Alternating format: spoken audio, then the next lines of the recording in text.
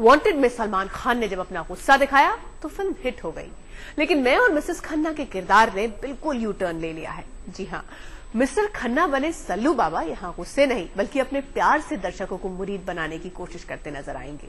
हमारा प्यार और हमारी शादी को बचाने के लिए मैं कुछ भी कर सकता हूँ। सलमान खान रियल लाइफ के कुंवारे लेकिन फिल्मी पर्दे पर अब मिस्टर खन्ना बनकर दर्शकों के सामने आने के लिए बिल्कुल तैयार।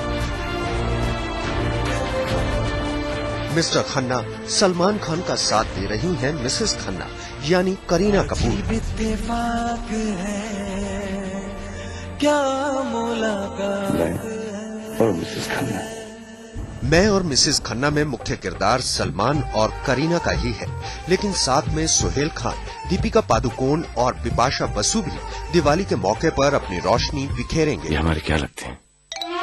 कुछ भी नहीं ये किसी दूसरी दुनिया के हैं। किसी दूसरी लवर बॉय के किरदार में सलमान खान फ़िल्म युवराज में ही नज़र आए थे। और दर्शकों को भी उनके इस अवतार का बड़ी ही बेसब्री से इंतज़ार था। क्या तुम उसके चाचा हो? नहीं। मामा? नहीं। भाई?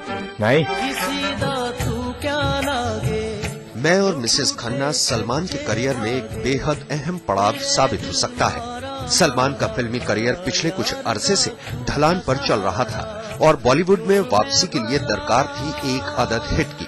ये दूरियाँ। एक तरह से अपनी वापसी के मुकाम में सल्लू बाबा को पहली कामयाबी मिली वांटेड से। अपने अपने फंडे होते। मैं औरतों और बच्चों को नहीं मारता जी हाँ बॉक्स ऑफ़िस पर नोट बटोरने के मामले में वांटेड ने तो कमाल ही कर दिया। और फ़िल्म खड़ी हो गई हिट फ़िल्मों की कतार में। अपनी कामयाबी की गाड़ी को और आगे बढ़ाने के लिए मिस्टर खन्ना का किरदार और मैं और मिसेस खन्ना का हिट होना बेहद ज़रूरी है। वैसे मौका दिवाली का है।